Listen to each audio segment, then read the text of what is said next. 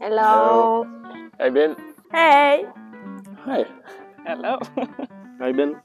Hello. Salut. Hey.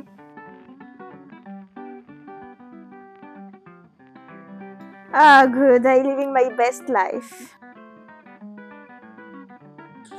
The launch of a new team, like Canyon Collective. Uh, I start uh, the new season in the new team with the best people around me, and uh, yes.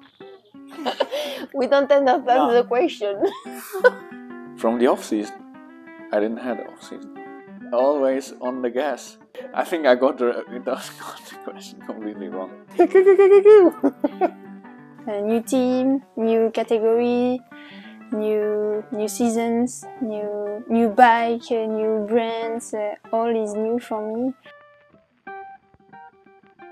Brazil so far. Very comfortable. Uh, I didn't know Brazil, so I love this country. The color of the of the vegetation and Really nice to be here. The food, like vegetable and fruit, are just amazing. The weather is cool, the sun is out, feels like summer. All the nature, the wild nature of Brazil. No. Two minutes. The fruits. Fruit. Um, last year in Lenzerheide, when I finished my uh, first top 10, yeah, it was pretty special with, with my good friend Max. Uh, he finished in ninth, and we did a, a sprint to the line. The first win of runner.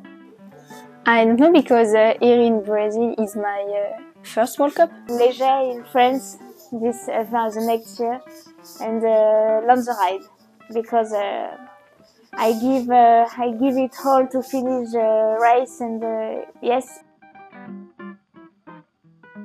Uh, I think ours. Loana, Thomas, Luca, and Line. A lot of uh, riders uh, are good.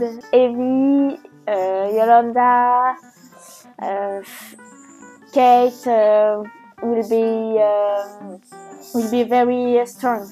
I think so. We will see, and uh, I hope me. Don't understand. I've heard about uh, Luca Schwarzbauer. He should be in pretty good shape. Also, maybe some other guys like I think some young, young, younger guys will be really fast this year. we, we have uh, new bikes. There is a lot of changes, same people, and uh, it's the best for me. Uh, new transmission, new suspension, new wheels, new tire. Uh, this new job. Big exchange. Uh, we have to speak English this year. This is a big, this is a This big, is a big change. change.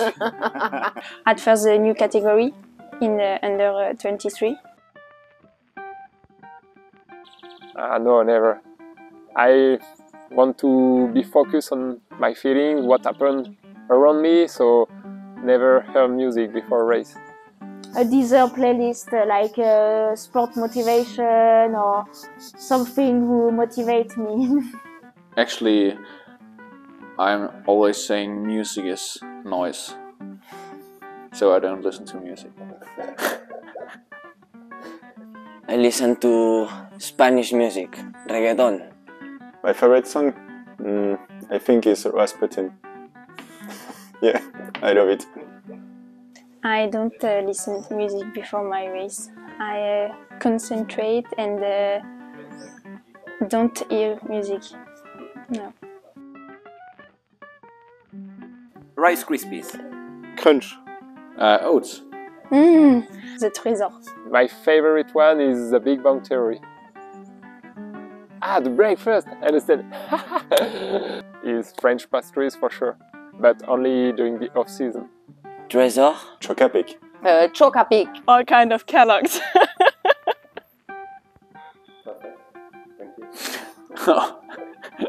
I think it was not so professional.